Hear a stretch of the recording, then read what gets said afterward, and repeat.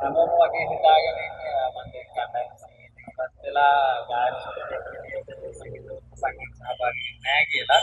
අ, නමුත් එහෙම නෙමෙයි අ, මම තනිව ඒ කියන්නේ සෝලෝ ආටිස්ට් කෙනෙක් විදිහට ගීත ගායනා කරන්න යන ගම අ, මෑත කාලයේදී අ, එකතු වුණා අ, ආනා ප්‍රධාන මීර සංගීත මීර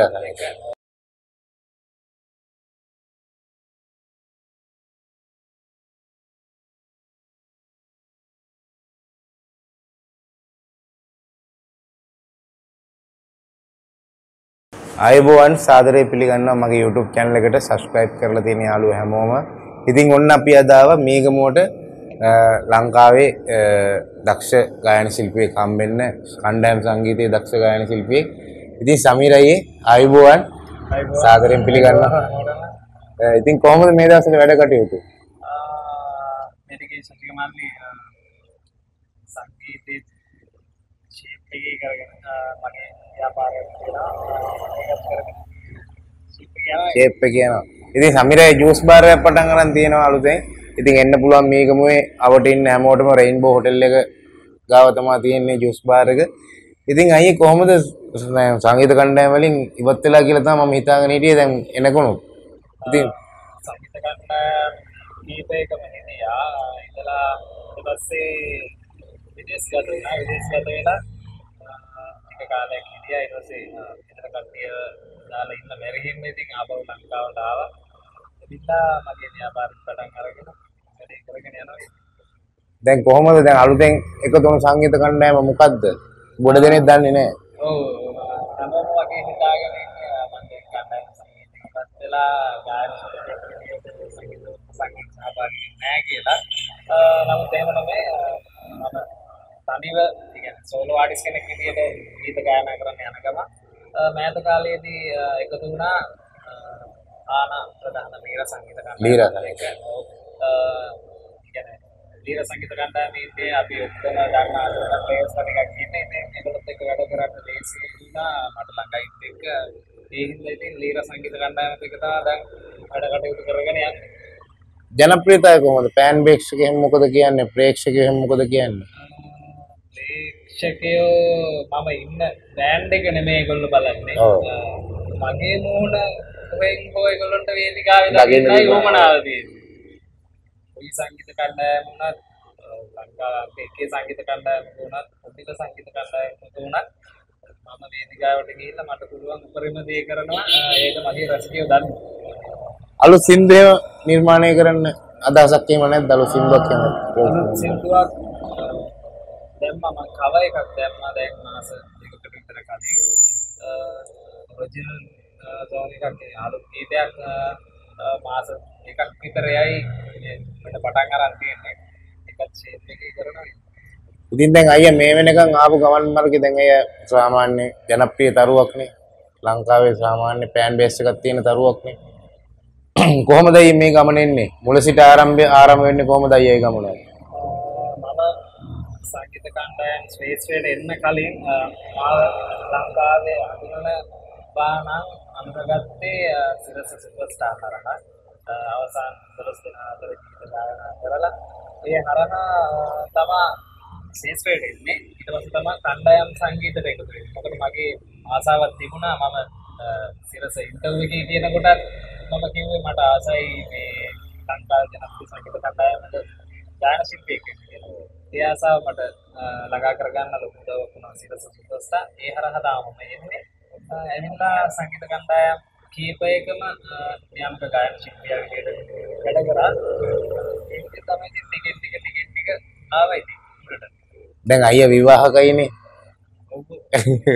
ඉතින් ගෙදරින් ලැබෙන සහයෝගය කොහොමද මේ සංගීත ගමනට සංගීත ගමනට ඉතාමත්ම ලොකු සපෝට් එකක් තියෙනවා වයිෆ්ගේ. ඒ කියන්නේ මම මියුසික් බෝඩ් නෑ අතහැරලා දානවා කියන තැනට එනකොටත් වයිෆ් කියන්නේ නෑ ඔයා පොඩි කාලේ ඉඳන් ආස ඔයා මානසික හදාගත්ත නම තැන රැක ගන්න ඔයා මේ ෆීල්ඩ් එකේ ඉන්න ඕනේ. ඔයාට දවසක ඔයා හිතනටත් වැඩි තැනක් හම්බෙයි කියලා එයා තමයි මාව පුෂ් කරන්නේ විරිමත් කරන්නේ. හම්බෙනවා. දැන් අයියේ මෙච්චර කල් හිටපු සංගීත කණ්ඩායම් මතකද අයියට මුලින් ඉඳලා හිටපු සංගීත කණ්ඩායම් ඔව් ඇත්තටම මම ඉස්සල්ලාම හිටියේ සින්දු සරස සංගීත.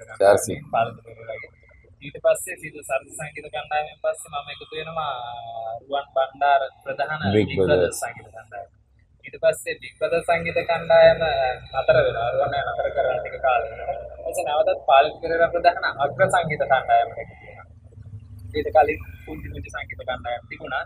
අර මිනිස්සු අඳුරන සංගීත කණ්ඩායම් වලට ඊට පස්සේ අන්තිම කාලේ අග්‍ර සංගීත කණ්ඩායම පාලිත කරගෙන නවත්තනකම්ම පරණම සමාජිකයෙක් විදියට වැඩ කරගෙන හිටියා. අයියට කොහොමද හිටපු සංගීත කණ්ඩායම වලින් ලැබිච්ච සහයෝගය කැපිලි කෙටලි එහෙම තිබ්බද සහයෝගය ලැබුණද කොහොමද එක එක නායකයෙක් වැඩ කරලා තියෙනවනේ මෙතරම් හොඳ නායකයෝ හම්බුණා. පාලිත පෙරේරා වගේම රුවන් බණ්ඩාර මට හම්බෙච්ච හොඳම නායකයෝ වෙන්නේ. අ, ගොඩක් සතුටුයි ඒගොල්ලොත් එක්ක ඒගොල්ලොන්ගේ අත්දැකීම් එක්ක මගේ ගමනට මාර ශක්තියක් වුණා ඒ දෙන්න. නොදන්න දේවල් කියලා දීලා හැම දෙයකටම මාර සපෝට් එකක් දුන්නා ඒ නායකයෝ දෙන්න. ඒ වගේම මගේ අපි සංගීත කණ්ඩායම හිටපු ශිල්පීන් අදටත් අසුරු කරනවා ළඟින් සංගීත කණ්ඩායම නැති වුණා.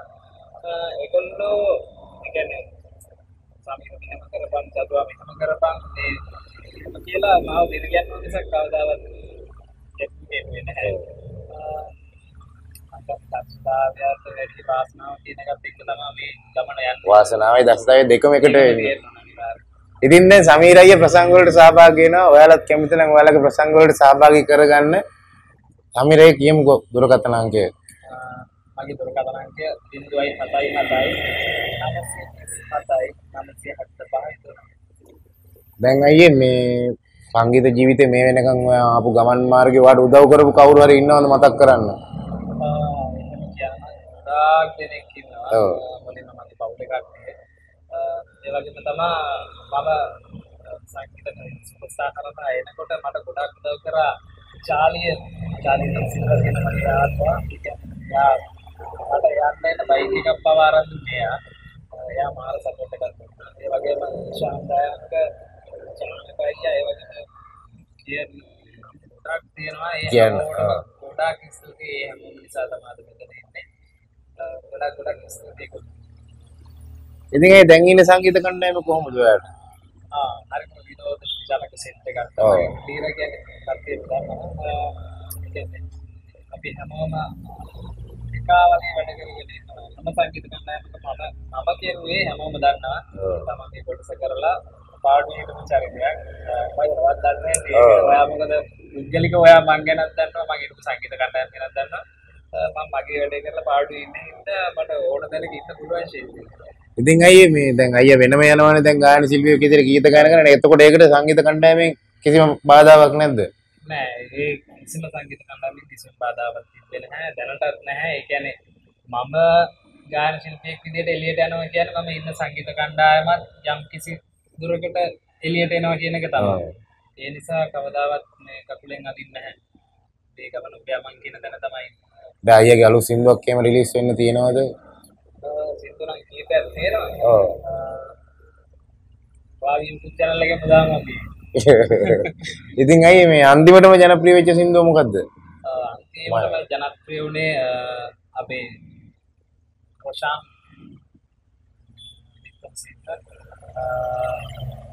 රචනය කරපු සංගීත කරපු මගේ පැංචි ගොඩක් වෛරල් වුණා. මගේ පැංචි සින්දුව ඒ තමයි අක්ක සංගීත කණ්ඩායමත් එක්ක එළියට ආවේ. දැනටත් ඒ ගීතය තමයි මේ ඉල්ලන්නේ. අලුත් එකක් දෙන්න ඉස්සර දැන් අයියේ මොනවද ඉස්සරහට තියෙන ටාගට්ස් ගායන ශිල්පියෙක් විදිහට මොනවද තියෙන ටාගට්ස් ගායන ශිල්පී විදියට මල්ලි මම හිතන්නේ හැමෝම කරන දේවල් නෙමෙයි. මිනිස්සු ආස විදියට මගේ කැමැත්තත් එක්ක හොඳ දෙයක් අතරට දෙන්න තමයි. කියන පල් පල් නොදා සදාරගෙන ගීතයක් දෙන්න තියෙනවනම් හොඳයි කියන මතය තමයි මම ඉන්නේ. ඔව්, අද පිපිලා හිත පර වෙන ගීත නෙමෙයි දෙන්න පුළුවන් එකක් එහෙම දෙන්න පුළුවන් අද කාලේ බැරි ඒකනේ. රැල්ලට යන හින්දා අර සින්දුව වලට පැවැත්මක් නැහැ කියන්නේ. ඒ ඉතින් අපි රැල්ලට යන්න වෙලා තියෙන්නේ. දැන් නම තියාගන්න ඕන නම් මම හිතන්නේ අපේ ගොඩක් හොඳ ගීත ගායනා කරපු ශිල්පීනුත් දැන් රැල්ලට ගීත ගායනා කරන්න පටන් ගන්නවා. ඉතින් ඇයි ගොඩක් ජනප්‍රිය වෙච්ච දෙයක් තමයි ඔයාගේ මේ කොණ්ඩේ. කොහොමද කොණ්ඩේ මේන්ටේන් කරන්නේ ගොඩක් තරුණ පිරිස් කැමති දැන් මම දැන් දැන් නම් ඉන්නේ මේ කොණ්ඩේ ලිහලා කල එකක් දාලා ඉන්නේ. කලින් බ්‍රේඩ් එක කරලා හිටියේ බ්‍රේඩ් එක කරන එකට තමයි ගොඩක් කට්ටිය මාව අඳුරගන්නේ මේ කොණ්ඩෙන් තමයි ඉතින් කොණ්ඩෙක සෑහෙන කාලයක් යොමු කරන්න ඕනේ. දැන් මේ ටිකේ ප්‍රසංග වලට යනවා අඩු නිසා කොණ්ඩේ පොඩ්ඩක් බ්‍රේඩ් එක කරගෙන මේ නෝමල් විදියට ඉන්නවා ඉතින්. ඉතින් ඇයි දැන් මේ වයිෆ් හම්බෙන්නේ කොහොමද? වයිෆ් හම්බෙන්නෙත් මේ සංගීත ගමනත් එක්කමද නැත්නම් වෙනමද? දන්නෙත් නෑ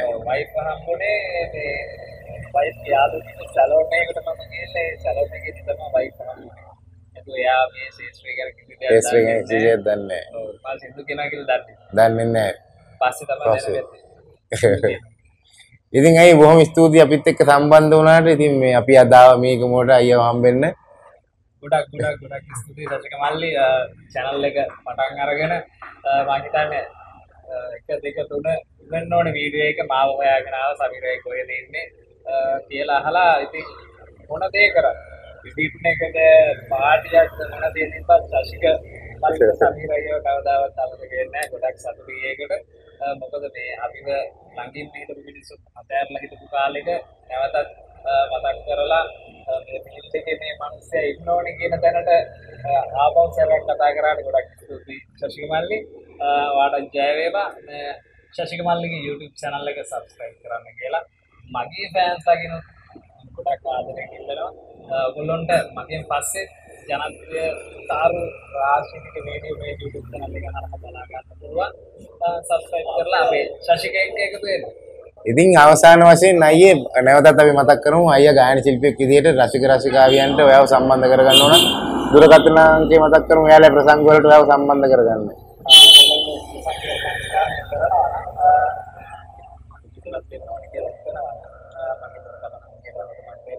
ඉන්දයි හතයි හතයි නමසය තිස් හතයි නමසය හැත්ත පහයි තුන ඉන්දයි හතයි නමසි තිස් හතයි නමසය හැත්ත පහයි තුන ඔන්න ඔය දුරකථන අංකයට කතා කරන්න සමීරයව කන්ටැක්ට් කරගන්න ඕන නම්. ඉතින් එහෙනම් බොහොම ස්තුතියි අපිත් එක්ක රැඳලා හිටපු යාළුවෝ හැමෝටම. එන සමීරයි බොහොම ස්තුතියි. ජය වේවා. මතක් වුණාට ආදරේ ජය වේවා. ඔයගොල්ලෝ හැමෝටම ජය වේවා. ආදරේ ජේ ස්පීකර් සර්